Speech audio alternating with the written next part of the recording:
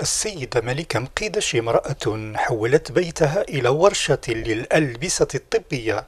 فكرة كانت بدايتها صعبة إلى أن اندماج عدد من الحرفيات في المشروع. جعل هذا الأخير نموذجا بمدينة جيجل. نسقت مع غرفة الصناعة التقليدية. اتصلت بالمدير وهو عرض عليا الفكرة وأنا قبلت وقبلت باش نكون همزة وصل بين الحرفيات على مستوى جيجل. فمن ناحية أخرى نسقت اتصلت بالحرفيات على مستوى جيجل يعني خياطات كامل واللي قبلوا يعاونونا الله يعطيهم الصحة آه، وتقبلوا على شرط أنهم يخدموا في ديارهم.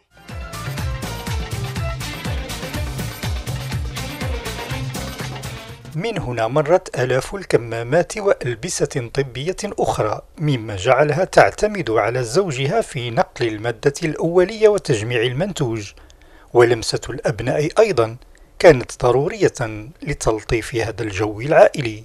كاين اليوم اللي يخرج الزوج نتاعي الصباح ما يرجعش حتى العشيه وهو يدور على الخياطات باش يمد لهم المادة الأولية باش يخيطوها. ومن فوق هذا عاونوني ولادي الحق يعطيهم الصحة. كانوا هما اللي يحسبوا لي بافات والطفلة الكبيرة حور هي اللي كانت تنقي لي لي بافات آه، تنقيهم بعد الخياطة. يعني مام كانوا كيبعثوا لنا الخياطات هي اللي تنقي.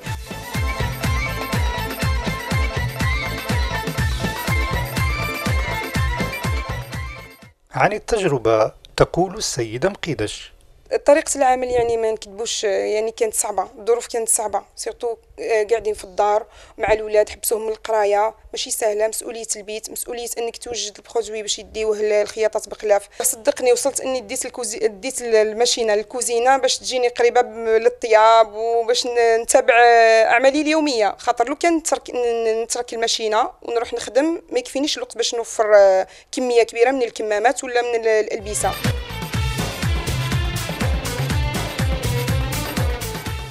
هي إحدى نماذج نساء الجزائر وبعيدا عن الفيروس الذي أرعب العالم فقد كشفت كورونا على ما لا يحصى من النساء والرجال.